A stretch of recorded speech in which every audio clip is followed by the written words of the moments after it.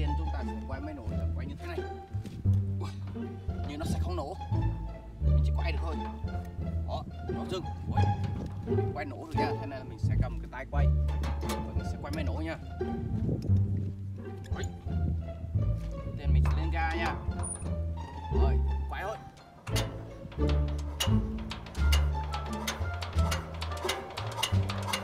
Hey!